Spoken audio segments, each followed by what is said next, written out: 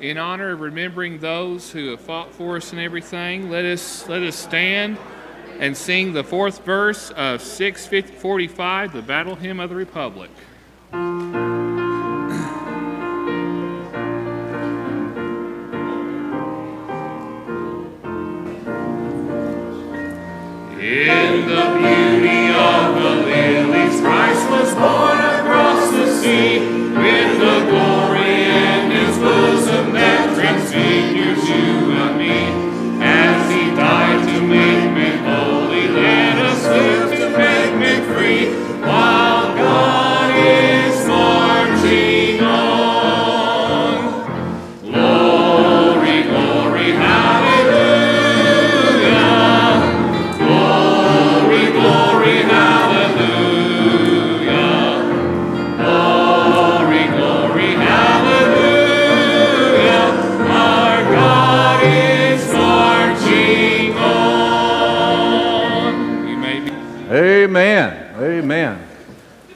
God is marching on. Do you believe that today? Say amen. Well, I welcome you all here today in house and also those of you uh, watching online. We're so thankful that you've uh, chosen uh, to worship the Lord today on His day and with His people.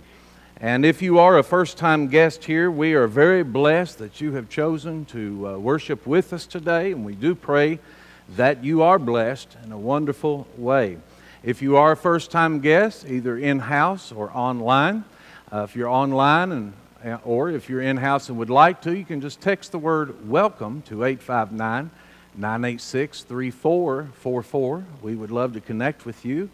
And then also, uh, those of you in house today, there's a little tear off section on your bulletin. You can uh, fill just some uh, little information how we can connect with you, whether it be by e- uh, email or text or um, either by sending you a nice packet in the mail. Again, we would love just to let you know how wonderful it was uh, for you to be with us today. And we encourage you to tear that off, and you can just put that in the offering plate as it passes by today. Uh, I want to remind everybody that tonight, uh, in house only, uh, we might release some throughout the week. We'll just see how it goes tonight with the recording. But we're looking forward to having the Old Elkhorn Pickers Club, and they'll be here tonight for our Sunday evening service, and that begins at 6:30 p.m. So I do hope that you'll make a special attempt to uh, come back out tonight and to have a good time and worship the Lord in this way and enjoy uh, the Old Elkhorn Pickers Club. Uh, bring a friend, bring two, bring three, bring an enemy, but just be back tonight. And we will be taking up uh, just a love offering for them, for them spending time to, to travel a little bit and come be with us tonight and bless our hearts and to bless the Lord. Well, this week, uh, November the 11th, coming up is Veterans Day. It's a day when we recognize and give thanks for the service and sacrifice of the men and women who are living and have served in the armed forces. Memorial Day is when we remember those who have gone on. But Veterans Day is a day that we remember those who are still living. These men and women and their families in your hardship, separation, and sometimes loss for the sake of protecting our country and fighting for freedom. And mind you, not only within our shores, but also around the world. Sometimes we forget, but our servicemen and women have also worked to assist and build up communities and suffering populations around the world after the conflict. You know, uh, we'd love if your services had not been necessary. We would love that. We would love to live in a world with no threat and only peace at all times. But we do not live in that world. And because the world that we live in is one of conflict, we must have people willing to take up arms and to protect and defend not only our country, but others that are in harm's way. In the world in which we live, we must remember that levels of peace and safety uh, do not come necessarily, mostly by joining hands and singing Give Peace a Chance. Doesn't work like that with most people and some people in the world. The levels of peace and safety that we enjoy today actually come from strength, from preparation, and people that are willing to set themselves aside to protect that level of peace. So today we honor their commitment to duty, and we are thankful for their willingness to sacrifice themselves so that the rest of us can go about our days with a level of security and protection. We also need to remember, as we think about our veterans, that these brave men and women that have served are only human. Even the strongest and the bravest of human heroes stand in need of God's grace, and they also stand in need of the help of their fellow countrymen. So many need not only to be thanked and honored, but they also need help and healing when they come home. And so today we honor those who have served as being blessings from God upon our lives. And we pray for our veterans because, again, they need our prayers and they need our support in a number of ways when they come back to civilian life.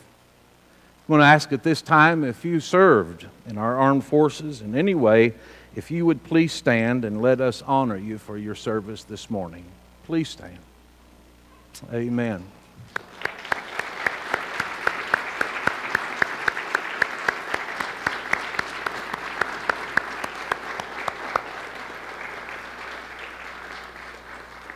May the Lord bless you. Let's go to the Lord in prayer.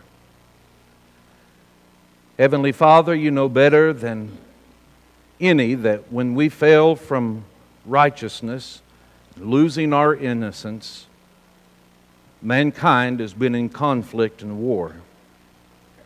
Lord, we look forward with faith to the day when your kingdom comes and peace reigns under your kingship.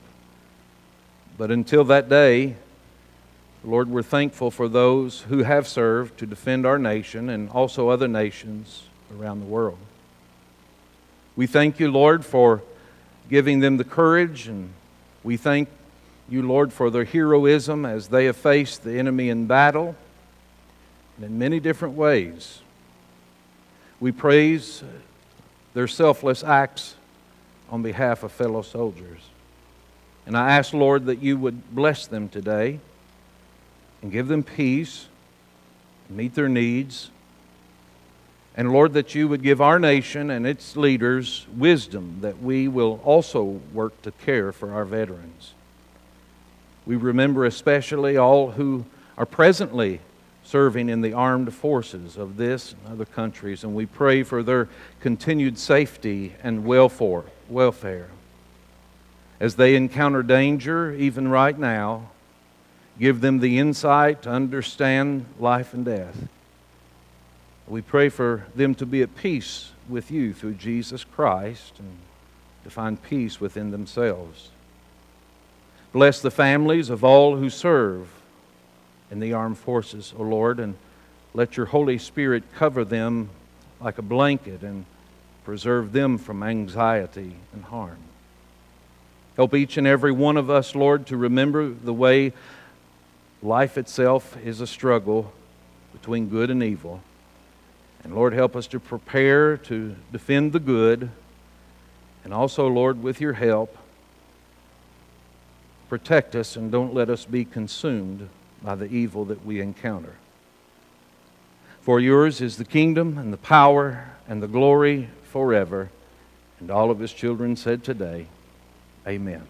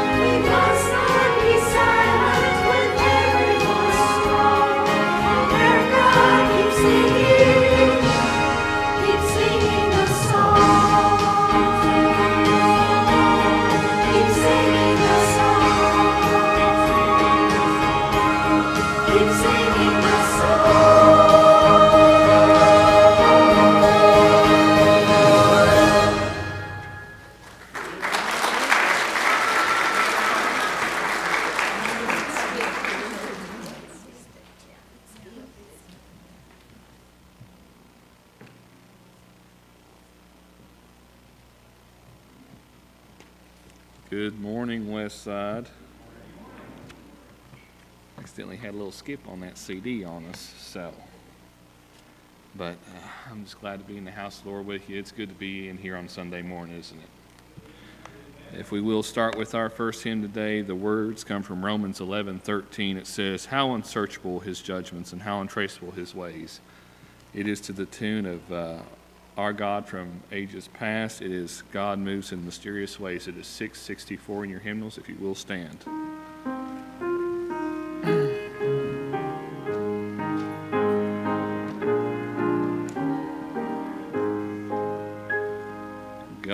Moves in a mysterious way, his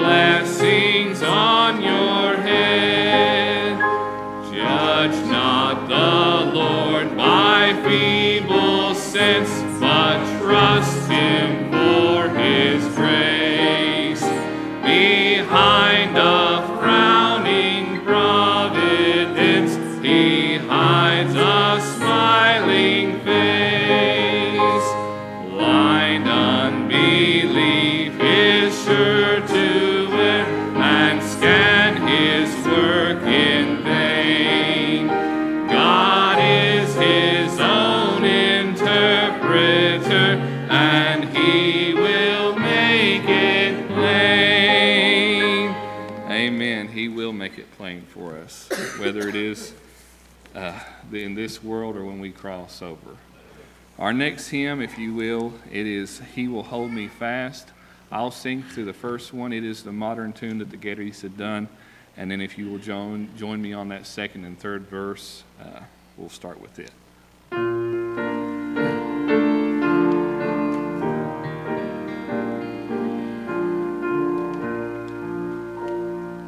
When I fear my faith will fail,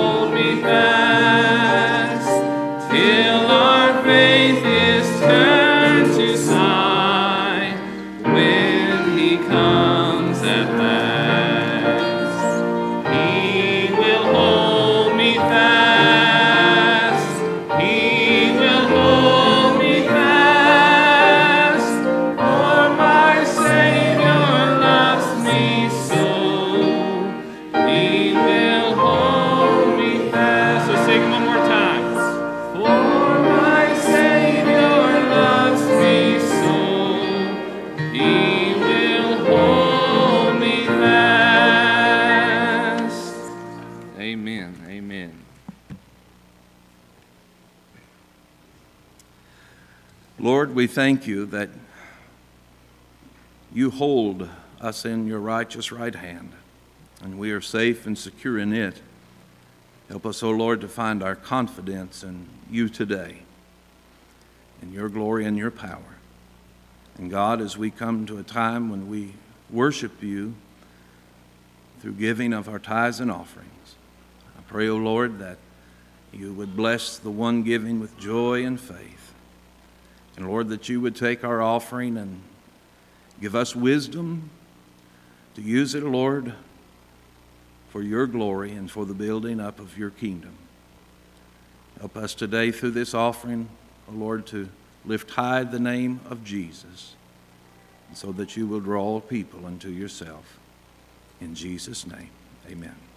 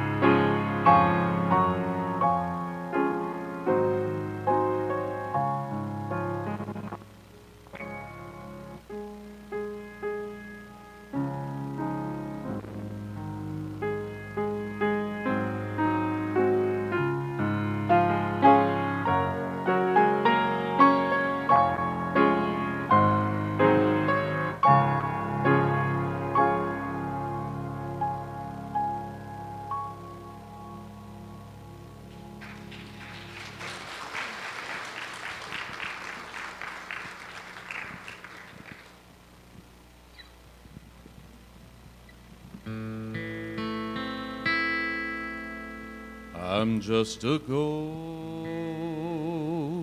over Jordan. I'm just a going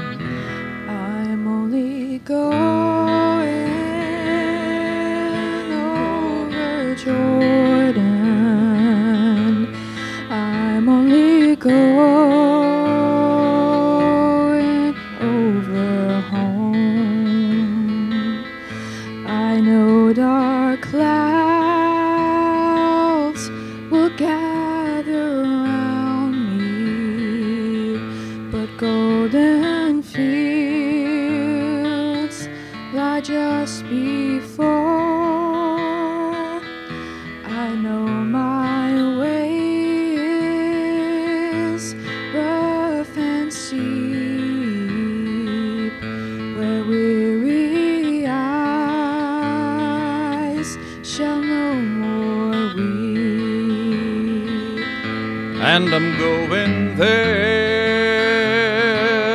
to see my mama and all my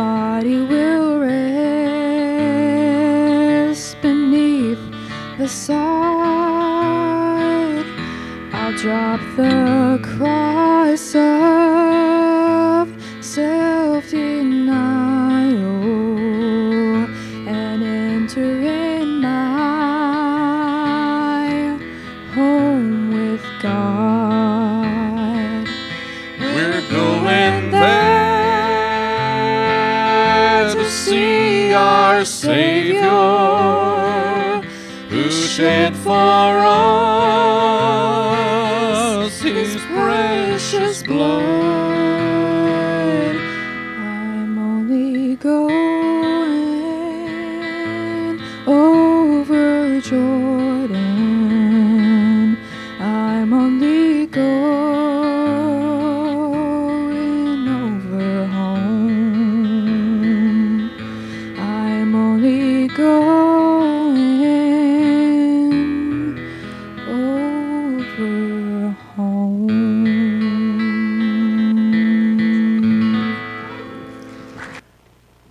How many of you all here today would really like to know all the reasons and have some good explanations as to all the things that have happened in our lives over the last two years? We want answers. Today we speak of having confidence even when you don't know all the answers. Looking at that, we're going to be looking again into Abraham, or at this point, Abram's life. And I'm going to be reading this morning from Genesis and chapter 15, and we'll read verses 1 through 6 of that chapter. If you're physically able, I would invite you to stand with me as we read from God's Word.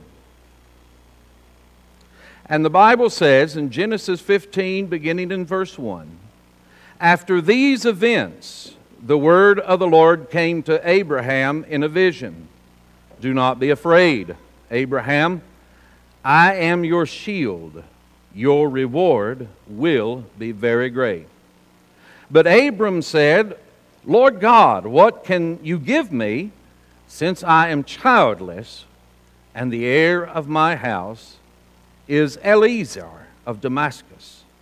Abraham continued, Look, you have given me no offspring, So a slave born in my house will be my heir. Now the word of the Lord came to him This one will not be your heir. Instead, one who comes from your own body will be your heir.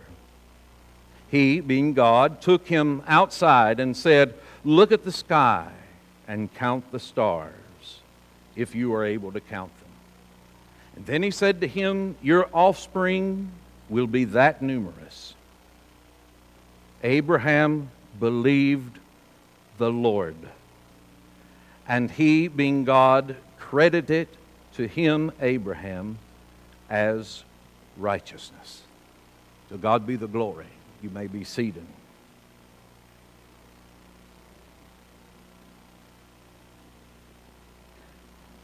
Let's be honest this morning. We at least think that we feel better in life when we have answers.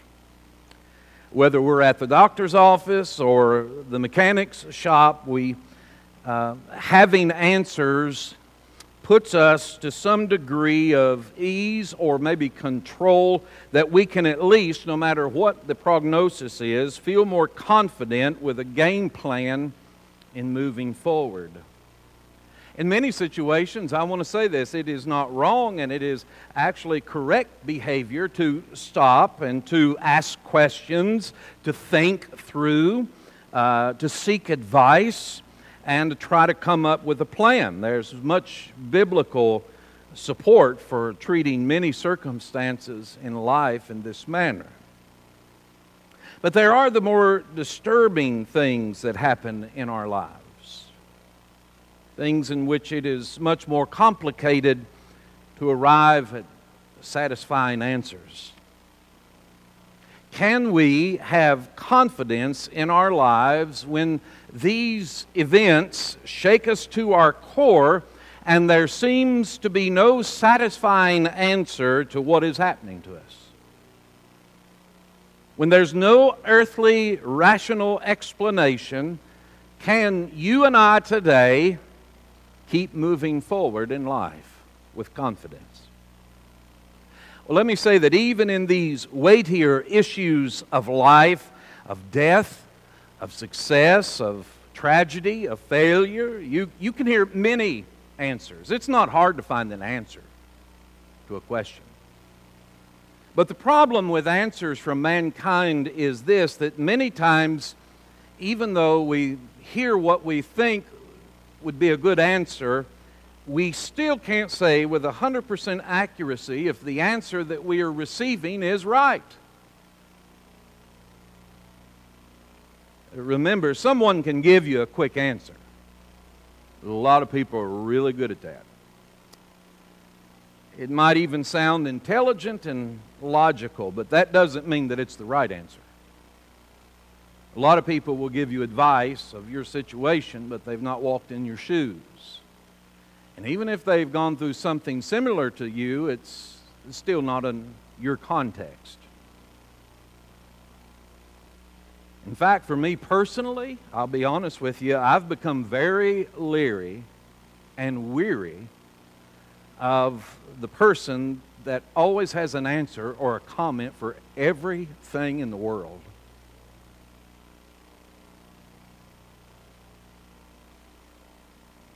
Have we ever lived in such a time where we're sure of so little and yet somehow have an answer for everything? It's not hard to find an answer. But to add to that desire for answers, we not only expect an answer to the problem, but we also want a good explanation as to why this problem or this crisis began in the first place in our life. Again, uh, this is my personal belief. I, I, personally believe that we don't know nearly as much as we think we know about circumstances happening in our life and in our world and why are they happening. We know a lot less than we even think we know. We have mounds of theories, mounds of uh, possibilities, of guesses, of hypotheses. But many times, and more than we would like to admit, we just never know why certain things happen and why those certain things are even happening in our lives right now. In Genesis in chapter 11 and 12, we were introduced to a man named Abram, or who would become Abraham, and we were also introduced to his wife Sarah. Abram was asked by God to go to a land that God had promised to him and his future generations. Abraham's main problem was this that Sarah and Abram could not have children, and they were now well up in years and well past the years of bearing children. Several years had passed by now from chapters 11 and 12 and now to 15. Uh, and now we arrive to chapter 15. And I want you to remember, as several years have passed, none of these promises had visibly revealed themselves or had taken place. And, and Abraham, as we just read, had some genuine concerns about where he was in life at this point. He had left home and family, security, to go to this land, and nothing seemed to be happening. Abram felt that he needed some answers from God to have confidence to continue in what God had called him away from his home to accomplish now several years before. Again, look at chapter 15 and verse 1. And notice it begins with after these events. After these events. What were these events? Well, you see in chapter 14, and we're not going to read that, but you can go back and look at it, that in chapter 14, uh, in very Reader's Digest version, young people don't know what Reader's Digest is, sorry. I just, but Abraham had, had gathered to his people, had gathered his people together and to go and rescue his nephew Lot from these three kings that had come together to attack Sodom, where Lot was living. And in chapter 14, we see where Abraham was successful in going against these three kings that had joined their armies. Abraham was successful in defeating the kings.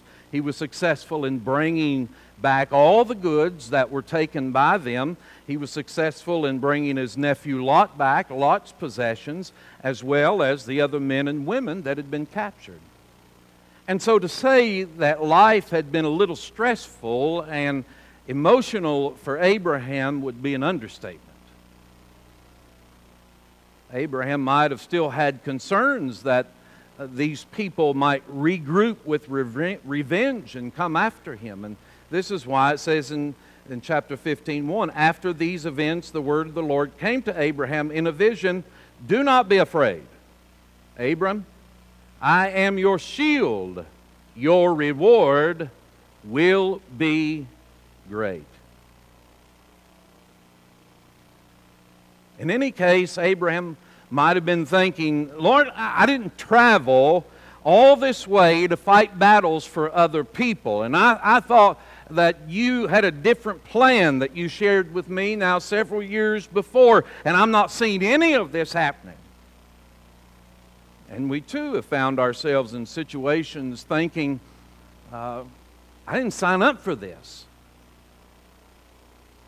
I didn't ask for this to happen. You see, God had made an unconditional covenant with Abraham.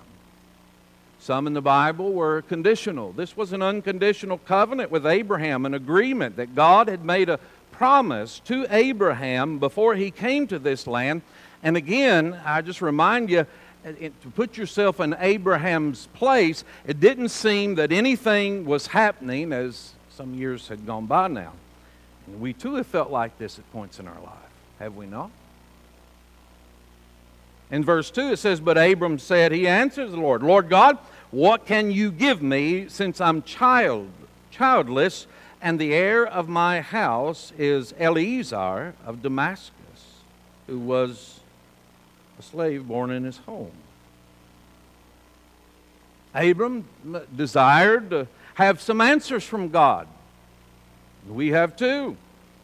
We too desire answers, and especially, especially those of us who have called upon the name of the Lord, who have surrendered our lives to Him, and we are trying to hold fast to the promises of God. And yet, there are times and seasons, and sometimes years that pass, where we're not really seeing the active hand of God in our life.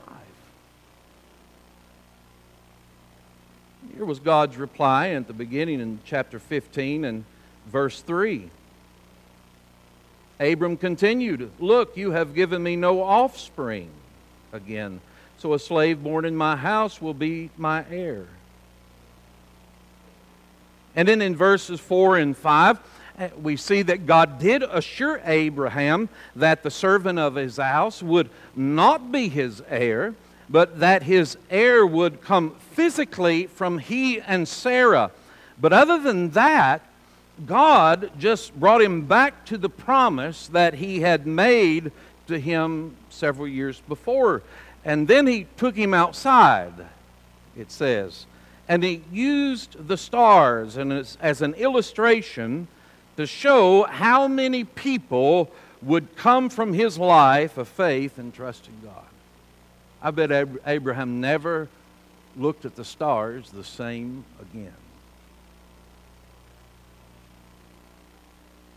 Now, at that point, Abraham had a decision to make, like we also have here even today.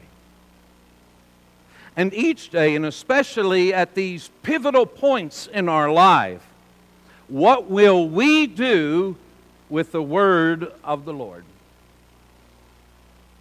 What will we do with the promises of God, even when our life seems chaotic, when it seems broken, or when it seems that God isn't doing anything for or within our lives. And we read in verse 6 of what Abraham at that point chose to do. And it says in verse 6 Abram believed the Lord, and he, God, credited it to him, Abraham, as righteousness. You see, Abraham, of his own free will, made a choice to believe the Lord without, get this, without having all the answers. And without having an outline explaining how everything was going to happen. At that point of what we read in verse 6, Abraham chose to put confidence in God and in his promises and not in the or in any explanation that he thought might give him peace of mind. I've read this quote before and it just came back to my mind as I was preparing this week what Dr. Warren Wiersbe said People live by promises, not by explanations. You know, that's really too, true even for unbelievers. They wouldn't admit to that, but it is true. Again, no one in life can answer all of life's questions, right? Again, like we said, some people think they can. No one can. And I want to encourage you today, and young people as well, that God isn't waiting for you at the end of some philosophical road for you when you figure out all things about your life. You see, He's waiting for you to put your faith and trust in Him now and each day of your life. And, and, listen, what if you are the person who demands answers and the person who likes to debate all of the questions of life logically? I, I want to ask you does winning a debate or an argument, and don't punch your wives or your husbands next to you, but does winning a debate or an argument really help you in being at peace with others and yourself? And can I remind some of you, you're not going to win an argument on Facebook. Please quit trying.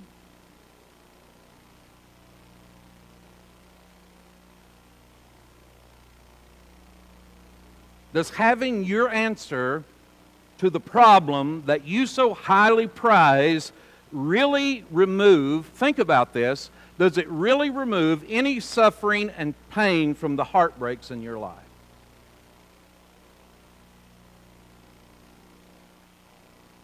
You see, God could tell us why He appointed certain things to happen or why He allowed challenges in your life. But really, if you think about this, even if God did that, would that really remove the sorrow and pain? Absolutely not. Years ago, as a young man, I started experiencing panic attacks. I didn't know what it was. Sometime later, I found out what it was. But you know what? Even though I can say when it starts to happen, that's a panic attack, it still stinks. It, it's still no fun. So even if we knew all the answers, it still doesn't always take away the pain and suffering. Here we see that Abraham chose to believe God. That is what we must also do each day of our lives. You see, here's the point. If we had all the answers, we wouldn't walk by faith.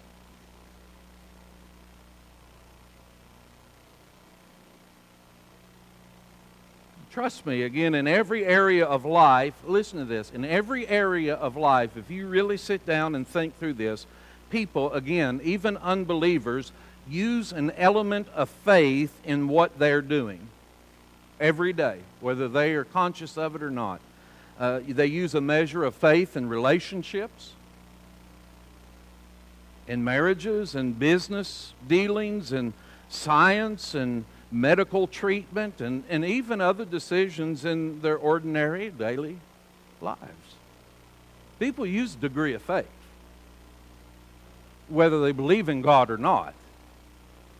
Everyone is using an amount of faith in someone or something every day of their lives. So the question in life really isn't this Am I going to believe in certain promises or in certain guarantees or in certain principles? That's really not the question. That question's out the window because everybody, to some degree, saved or lost, born again or dead in their spirit, believer, unbeliever, every person is putting some degree of faith in promises of someone uh, or guarantees that are made to them and principles of life. That's not the question.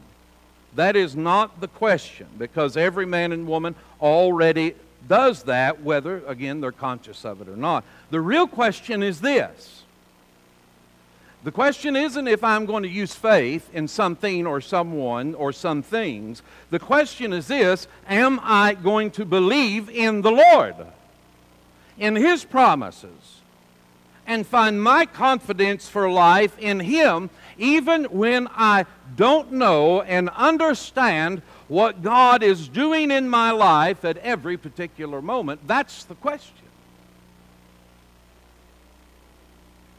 Abraham's faith had wavered. And it would have its moments of frailty again. But you know what? At this moment that we read in, in verse 6, Abram believed the Lord. At that moment, and for the greater part of Abraham's life, for the rest of his life, his faith was a burning torch, and really, it's a torch that is still burning today of faith and belief in the Lord God, not in the answers and explanations.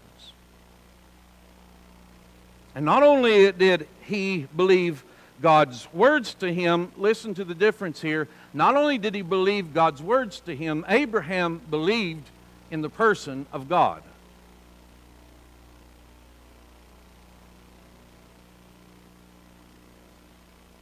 He trusted God with his life and Abraham, it says in verse 6, was he was entered into heaven's record as righteousness.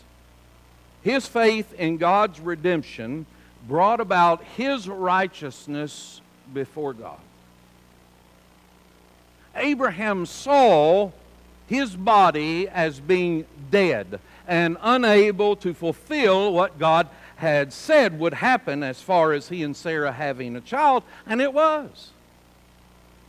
However, Abraham chose to believe that God could do what was impossible for man to achieve. Do you believe that today? That God is able to do what is impossible for man to achieve.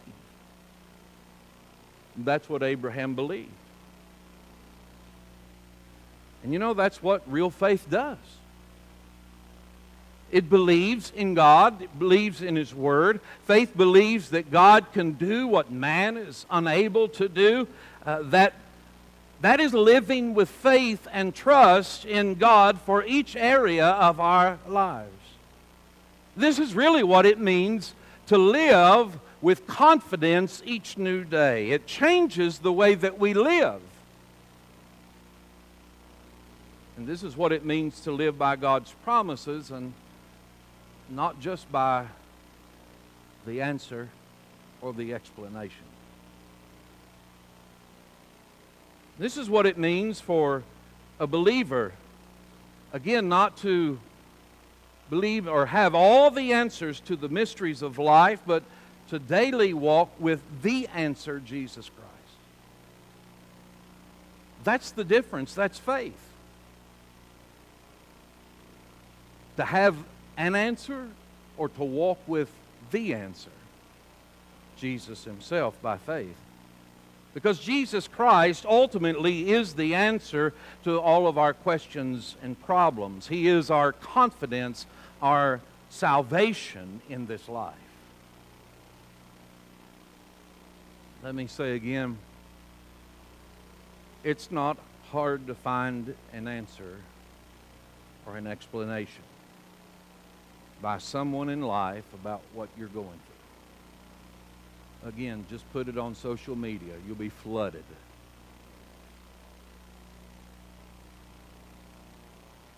But again, I remind you, especially young people today, just because you get a lot of answers doesn't mean that it's the right answer. And it doesn't mean that it's the correct explanation. Will you really believe in man above believing in God? That's the question that we're faced with not only today, but each day of our lives. Who are you going to put your confidence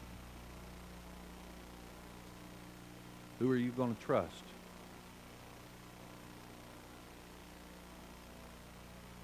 This faith in God is also the faith used when we experience salvation.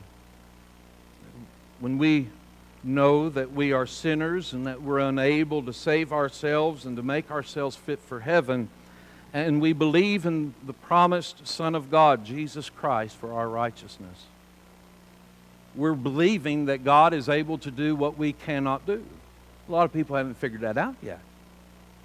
They still think through their life they have life in their control and they can change their eternal destiny in their own power. That's not what real salvation is. Real salvation is just like Abraham considered his body as being dead and too old and unable to achieve what God had promised him as an heir to come from he and Sarah. He knew that, but he believed that God was able to do what he couldn't, and God did. It's the same with our salvation when we realize we're dead in our sins and trespasses, unable to redeem ourselves, not, unable to appear righteous enough to enter into heaven. And then we look to the cross. And we look to the Christ that came and cleanses us under the flow of Calvary. It's accounted for our righteousness as well.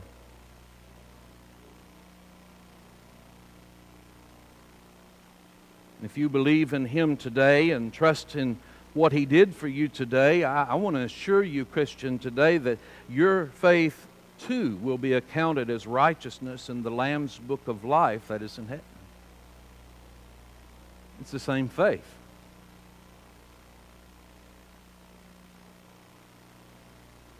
And what about you, beloved Christian? Is, is your faith wavering today? Hear me.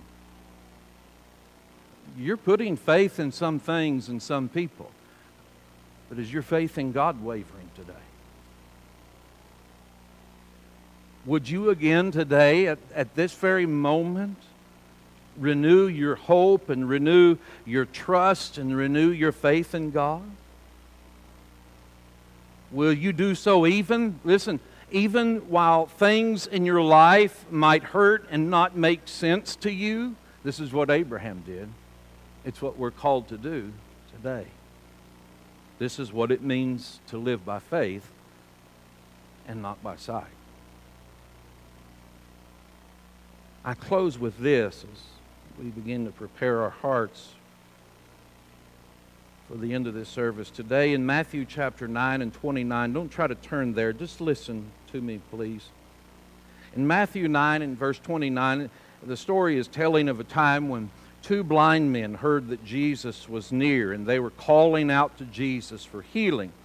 And Jesus asked them this question Do you believe that I can do this? Listen to me very clearly this morning. Jesus asked these two blind men that asked for him to heal them of their blindness, and he asked them, Do you believe that I can do this? And they answered, Yes, Lord. And then Jesus made this statement after he touched their eyes Let it be done for you, or let it happen according to your faith. Let it happen to you according to your faith. Will you believe that God can do what He said that He will do in your life? That's what it boils down to. And today, will you believe in God? Not just in a book, not just in a promise, but will you believe in, in the author of this book, God? Will you trust Him not only with your soul, but listen, will you also trust Him with your life? Even when things are impossible, impossible for you to accomplish. Beloved, that's really where faith begins. Well, I use Jesus' words. Let it be done to you, me, each one of you, let it be done to you today according to your faith.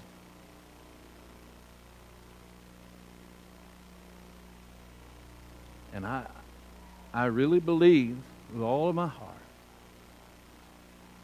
that if you will trust God with your life, He will, in His time and in His way, turn all your question marks into explanation points. Who will you believe today? That is the choice we all have right now. Let's pray.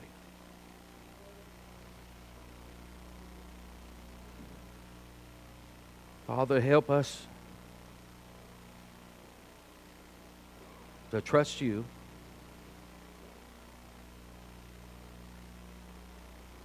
And be with that one that is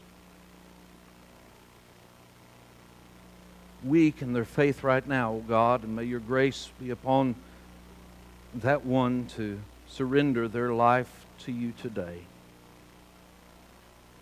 For the poor wayfaring stranger today, Lord, the, the poor Christian traveling through a world that doesn't understand them and they really don't belong here, Lord, would you help them in their journey. And would you give them strength, O oh God, to keep traveling on to greater things that you've prepared for us. Thank you, O oh God, that you are our shield and that you are our strength. Move, Holy Spirit, in our hearts today. In Jesus' name. Amen. The altar will be open as we stand together and sing our hymn of invitation You are free to come and to pray. I'm here to help you with any decision, public decision that you might feel led of the Holy Spirit to make today. But otherwise, let us all resolve to trust in the Lord as we stand and as we sing.